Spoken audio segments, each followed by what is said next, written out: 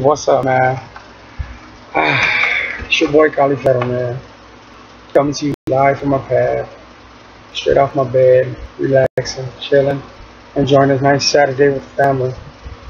And uh, I hope you guys are doing the same.